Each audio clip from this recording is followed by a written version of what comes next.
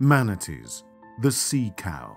They spend their lives grazing on seagrass in the clear waters off the shores of Florida. They are large, slow, and, no joke, I saw three big ones gang rape a crippled one at SeaWorld one night when I was working there.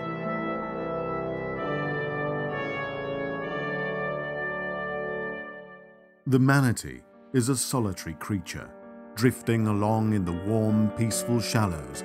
They are not usually held in a small glass enclosure with three other male manatees hell bent on the violent forced sex that I, for real, saw with my own eyes while alone one night at SeaWorld, San Diego.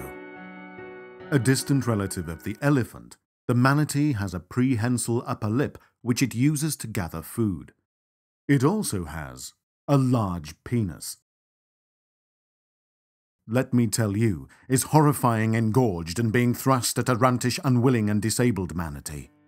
Classified as endangered, human boaters often cause serious wounds to manatees' flippers, rendering it difficult for this one poor little rescue manatee to escape a large male manatee intent on unwanted anal intercourse.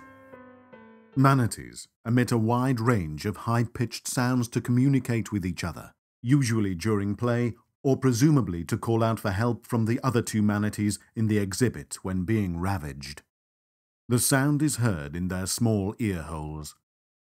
The other two manatees did meander over, I assumed spurred by some rudimentary form of empathy to help their helpless brethren. This was incorrect. When they got there, the two manatees seriously, this, this actually happened, worked together to hold the crippled one firm up against the glass of the enclosure to help the first manatee finally succeed in fucking it in the ass. Let me repeat that.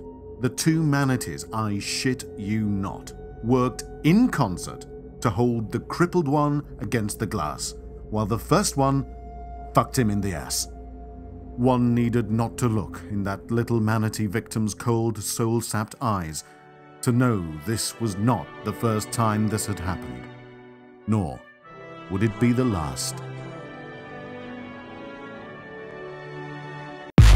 Six sexy Americans alone in a house with nothing to do but get nasty.